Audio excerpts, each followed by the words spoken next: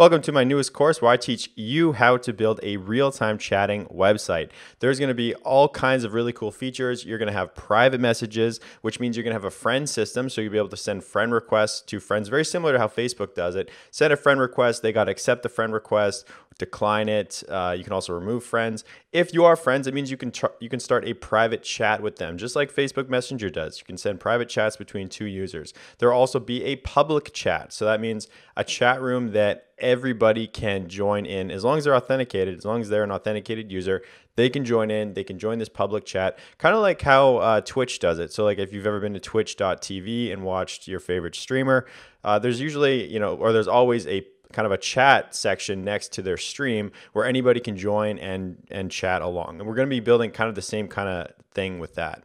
And the third thing that we're going to build using WebSockets is a notification system. So if you get a friend request, if somebody removes you as a friend, if somebody uh, declines your friend request, anything to do with anything, basically any any friend thing, you'll get a real time notification up in the uh, up in the kind of the header of the of the website, just like Facebook does. Also, you'll get real time chat messages. So if somebody sends you a private message, you'll also get a notification just like Facebook does. So you can like see kind of a preview of what that text looks like. You can click on it and that would take you then to that private chat room. So there's of course lots more that's going to be happening behind the scenes. But um, I thought in this video, what I'll do is I'll, I'm going to break down the the project structure so like or sorry the the teaching structure so how i'm going to be teaching it like step one, step two, step three, and so on and so on. And we're also going to do a demo. So I've published this to this project to a live website so that you can check it out before you do the course and you can just play around with it and see if this is something that you're interested in learning how to build. So basically what I'm going to do is go through the, the teaching structure and also do a demo of this website in production. So let's go take a look. So on the left-hand side here, I have kind of the uh, the features of the website, and this is kind of the course structure. This this is the order that I'm going to be teaching it in. And on the right here, I have the actual website in production, which we're going to be going through it. So the first feature, the first thing when we develop this website is going to be user management. We need a way to register users, login users, log out, you know, change their passwords, uh, view account, update accounts, change their profile pictures, find other users, all of these kind of things. That is step number one. So let's go through all the features on the website related to all of these things. So here I have the production website, which is the website that you'll be able to build in this course. And at the end of it, we're also going to push it to production. So don't worry, I'm going to show you all that. So openchat.xyz, you can visit that and follow along with me if you like. Uh, this is the kind of homepage, and we're going to talk about this later. But first, let's talk about the, the user management stuff. So I can either log in or register first of all. Also notice if I try to participate in this live chat down here without being authenticated, it gives me an error and says that I must be authenticated. So okay, that's let's go and authenticate. So if I click register, this is a pretty standard registration screen. You have email, username, password, and confirm password. That's how you register a new user. I am going to log in with a user that I've already created. So here's login. I'm going to log in with mitch at tabian.ca and I'm going to type my password so that uh, you can't see it and then we're going to log in. So there's my password and also notice there's a reset password option down here. If you forget your password, that will send the user an email letting them know how to change their password. So let's click login. And once I get logged in, I get uh, navigated back to the home screen. So now I can participate in this private chat. So if I was like, you know, I can participate and I hit enter, boom, there's my message. And sometimes it takes a little while for the profile image to load. That's actually uh, a pretty important piece of the course, actually, which we'll talk about later. I'm asynchronously loading profile pictures uh, in the background. So first it shows it shows that kind of uh, default image. So if I do test, there's that default image, and then it asynchronously loads that profile image just so the, the views don't get disrupted. But don't worry, we're gonna talk about that later.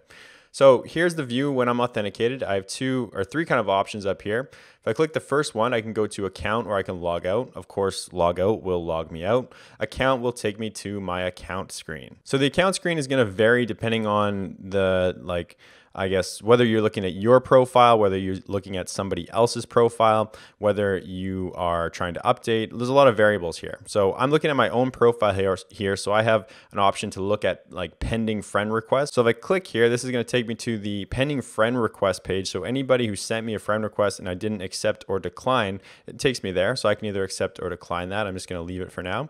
I also have a friends option. So if I click here, this takes me to a view that shows all of my friends. So these are all of the people who were nice enough to come onto my website and test it for me and send me a friend request. So now let's go back to the account screen. The other thing that you can do here is you can of course change your password and you can update your account properties. So if I click update, I can change my email, I can change my username, and I can also change my profile picture.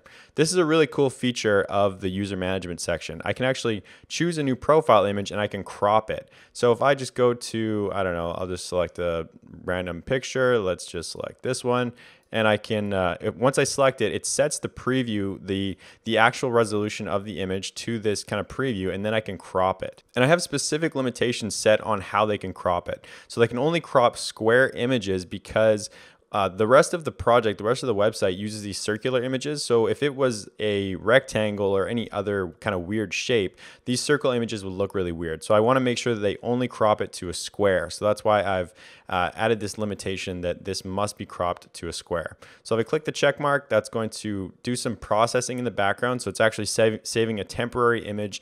Whoops, looks like the CSS got messed up there. I'll just refresh it. It's actually saving a temporary image to my server. It's then cropping it given the boundaries that I've selected, and then it's saving that new image to the AWS, so Amazon Web Services, where I keep my media files. And there you can see my new profile picture is set. It's also set up here. So that did save correctly.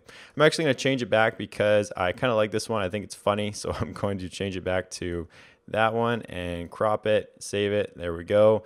Again, it's saving a temporary image. That's why this takes some time. It's saving it, it's doing some processing in the background, and then when it's done, it's gonna finish up. So that is the uh, that's the account screen. The last option I didn't talk about was hide email. So if I click this and somebody else visits my profile, so let me actually just save this and go to my profile. If somebody else visits my profile, they're going to see this email hidden if I have that ticked. So as an example, let me search for uh, a different user. I'll just search Jay and that should bring up a whole bunch of options. If I was to click on any one of these, this guy's my friend, this guy's not my friend. So let's just click on this guy. Uh, notice that his email's hidden. That's because he has that, that checked off, that checkbox. So now this is the same kind of account screen, but it's different because I'm viewing someone else's account. So notice I can't like see his pending friend requests. I can, um, I can click on his friends list, but it actually probably won't let me if I remember correctly. Yeah, it says you have to be friends with them to, to view their friends list. So even if he did have friends, I wouldn't be able to see them because we are not friends. So if I actually go back to this guy, James, I am friends with, and I click on James, notice that I can see his friends. So if I click here, it takes me to his friends list and I'm his only friend right now. So it says this is me. So if I go back and let's uh, let's go back to the search here and click on somebody who's not my friend. And I guess the, the next thing to talk about here, if we go over to my, my features section, is actually the friend system. So let's, let's talk about that. So the friend system, you have uh, four kind of basic, well, five basic operations you can do. You can send friend requests, accept them, decline them, cancel them, and remove them. So the first example is send a friend request. I can send a friend request to this guy right here there that will then send a friend request and notice now his view has been updated for me saying that I can cancel it. So I have a, a pending friend request excuse me, that was sent out to him. So on his end, he can either decline it or accept it. Um, I don't, I th- oh, I do actually have a, so remember earlier I had a pending friend request from Samuel. So if I go to my account and I go to friend request here, it says Samuel uh, actually sent me a friend request. So now the next thing is I can either accept it or I can decline it. So if I was to click accept, it should say no more results because I have no more pending requests. I also get a notification up here saying that I'm now friends with Samuel. And if I go to my account, that friend request has been updated because now I'm friends with them. I also could have declined it, but I chose to accept it. Canceling is from the, um, the user who sends the request perspective. So if I search Jay again and I go to this guy who I sent a friend request to, I can cancel this friend request. So if I click cancel on this, the page will update and that, that pending friend request is now canceled. He's not going to see anything on his end anymore. The last operation is removing friends. So let's go, uh, I guess I'll search Jay again and just choose somebody who I'm friends with. Here's James right here. I don't know who this is, just somebody who was nice enough to help me test my website. I can click up here. Well, there's actually mess, uh, an option for messaging, but we'll talk about that later. I can click up here and I can go to unfriend. So if I do that, I'm no longer friends with James and we can't uh, send messages to one another. And I'm going to talk about the messaging uh, in a little bit here. So that's the friend request system. Now you might have noticed up here that these numbers have been incrementing. This is actually the notification system. It tells me all about kind of the friend system when I've canceled a request, when I've removed a friend, when I've created new friends. And also if somebody sends me a friend request, it shows up in the notification and I can either accept it or decline it up here. So I'll, what I'll do is I'll actually log in with an incognito window and I'll log in with a different account. So I'm going to go and log in with uh, somebody else's account. This is just a dummy email that I've added for testing. So this is uh, that's my brother's name. It's not his real email. But if I go to and I search for Mitch, which is the account that I'm logged in with the other view, it says that we're friends.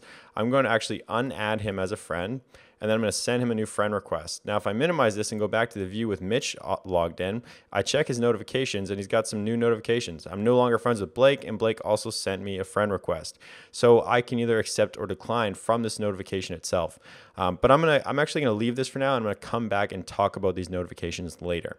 Now, for now, we're gonna go and talk about the public chat system. So let's go to the home screen, and here's the public chat system. Now, theoretically, I could have made like public chat rooms on the website. I just chose to make just a single one just to show you how it works.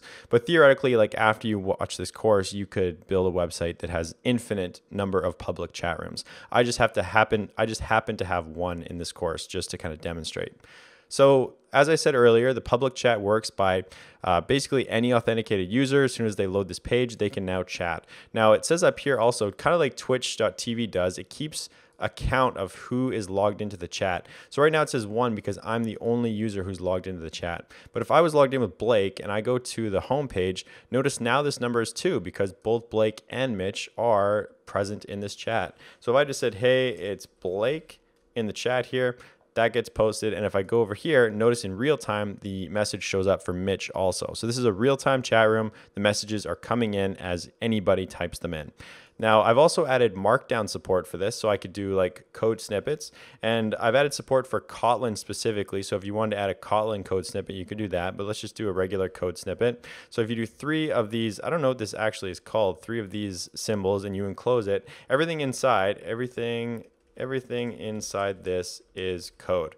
So if I press enter, there's a code snippet that gets inserted into the real-time chat. And all of the chats in this project will, will support that, whether they're private messages or whether they're public chat rooms. Now there's also pagination on this public chat room and every other chat room in this project, because there could theoretically be a million messages in here. So if I scroll up, what it'll do is it'll show a progress bar. It's gonna load the next 30 entries scroll up, progress bar, load the next 30 entries, and it does a nice kind of pagination system for uh, loading chat messages because obviously, like I said, there could be you know theoretically infinite number of messages.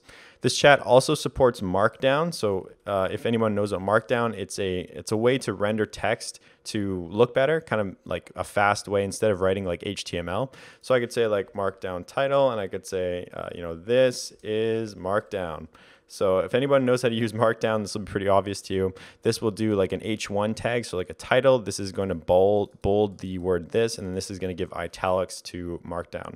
So if I press enter, uh, there we have the Markdown being rendered into the chat. So pretty cool. Now the last feature is if I was to click on another user in the chat, so I could say this guy right here, the random seventh grader, if I click on his profile image or his name, it will take me to his profile. So if I click that, boom, that then takes me to his profile. And it's going to be like that for any other user in the public chat. If I click on Samuel, that will then take me to Samuel's um, Samuel's profile.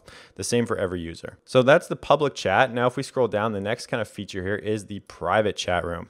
So private chat rooms are one-on-one conversations, just like on Facebook, for example, if you were to message somebody, that is a one-on-one conversation.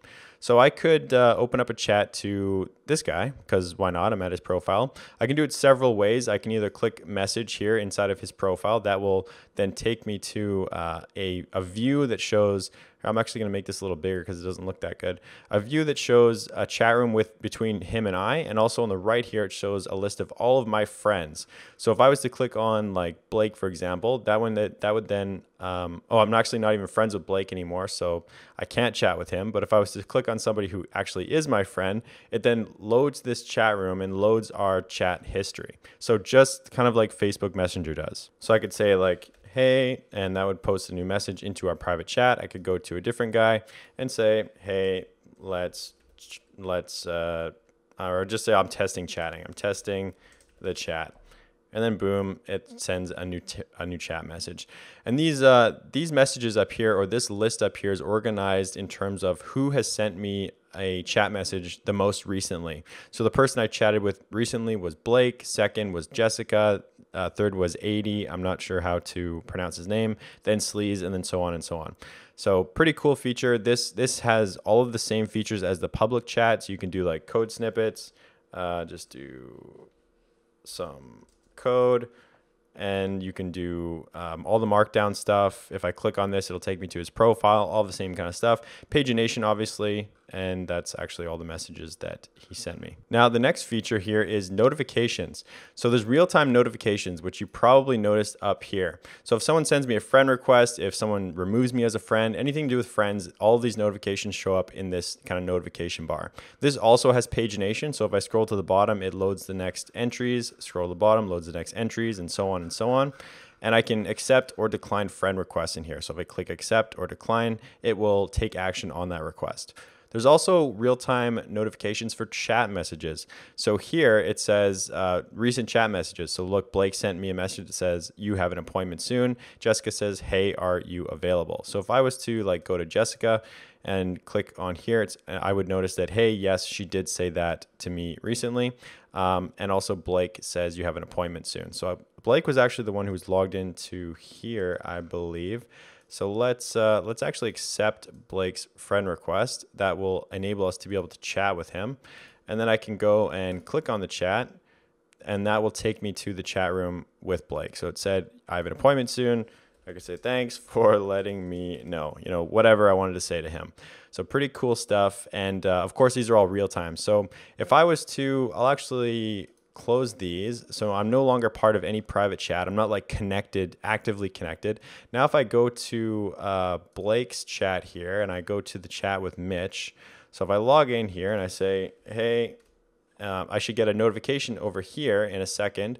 Boom, there's that uh, that notification. See that little red with the one? That means I have one pending message. And if I click this, I have a new uh, notification from Blake, which was this one right here. This should have actually been cleared. I think this is a that's a bug. It probably didn't clear because I removed him as a friend or something like that. But um, I bet you if I refresh the page, that will resolve itself. Yeah, so there's that new message from Blake saying, hey, and if I click that, that will then take me to the chat room with Blake where he just said, hey. All right, so what is the next thing on the agenda here?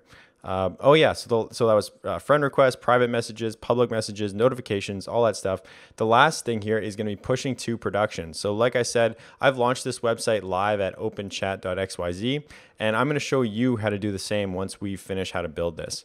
So there's a lot of things actually involved in pushing this to production that make it kind of tricky. You need to use something called Daphne, which is a kind of a, a, a service or a tool that's maintained by the people who build Django channels, the library Django channels. They build it to make it simple to, to push Django channels to production because it's actually kind of a complicated process. You need to be able to configure Redis to manage your kind of a, a queuing system for the socket messages coming in.